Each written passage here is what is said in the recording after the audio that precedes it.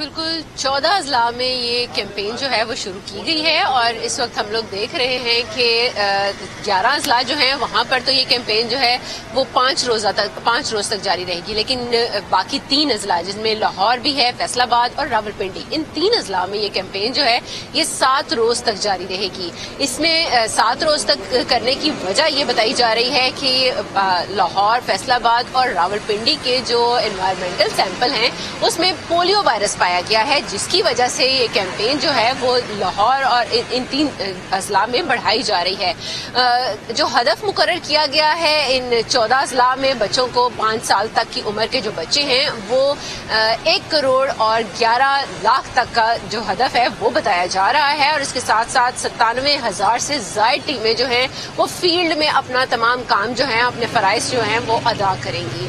दूसरी तरफ़ हम लोग ये भी देख रहे हैं, अगर हम लोग पोलियो के हवाले से बात करें तो पंजाब में पोलियो वायरस के जो कंफर्म केसेस हैं, फ़िलहाल तो ऐसा कोई रिपोर्ट नहीं हुआ। लेकिन बाकी अजला और स्पेशली केपीके और इसके साथ साथ जो बलोचिस्तान है, वहाँ पर ये कैंपेन वहाँ पर ये वायरस जो है, वहाँ के कंफर्म केसेस जो हैं, वो भी रिपोर्ट हो रहे हैं। और दूसरी तरफ़ हम लोग ये भी देख रहे हैं कि पोलियो वायरस अगर दुनिया भर की बात करें तो दुनिया भर में तो वायरस जो है वो खत्म होता जा रहा है। बहुत से एरियाज़ जो हैं, बहुत से ममालिक जो हैं, वहाँ पर ये खत्म हो चुका हुआ है। लेकिन अफ़गानिस्तान और पाकिस्तान ऐसे मुल्क हैं, जहाँ पर अभी भी वायरस जो है वो मौजूद है। दो इकसाम के पोलियो वायरस जो है, हम लोग सुनते आ रहे हैं कि मौजूद है। एक वाइल्ड पोलियो वायरस है और दूसरा वायरस जो है वो वैक्सीन ड्राइव्ड पोलियो वायरस जो है वो बताया जाता है।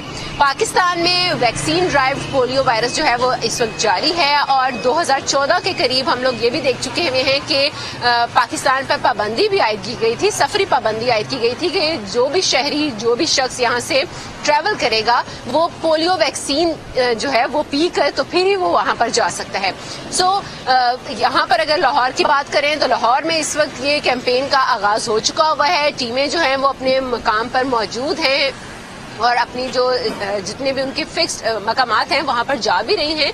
और कोशिश तो ये की जाएगी कि तमाम जितने भी इलाके हैं वहाँ से ये जो बच्चे हैं उनको पोलियो के कतरे पिलाए जाए ना सिर्फ़ घरों में जाकर बल्कि इसके अलावा स्कूलों में भी जाकर ये कैंपेन जो है वो जारी रखी जाएगी। और इसके अलावा मैं आपको ये भी बता दूँ कि कैचअप डेज़ जो हैं वो भी होंगे। कैचअप डेज़ जो होते हैं वो ये बहुत शुक्रिया जो बच्चे रही थी।